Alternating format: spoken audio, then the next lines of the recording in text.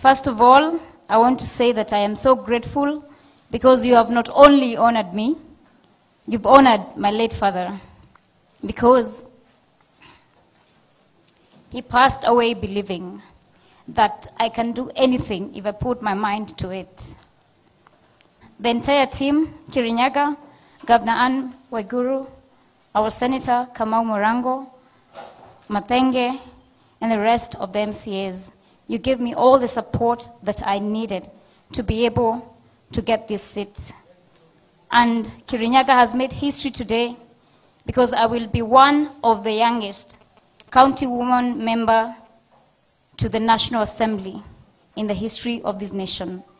The way you've honored me and shown me great love, I have you in my heart and I will work for you diligently. And I know that in the next five years, you will not regret electing a young person and sending her to parliament. Asanteni sana, Mungu awabariki.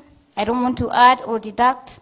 Mama, asanti sana, umeshikilia familia yetu. My brothers were here, Tyrus and Anthony and Eustace, and my sisters were home. Asanteni sana. And everyone from where?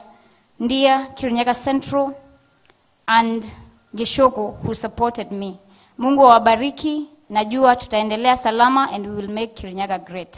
God bless you.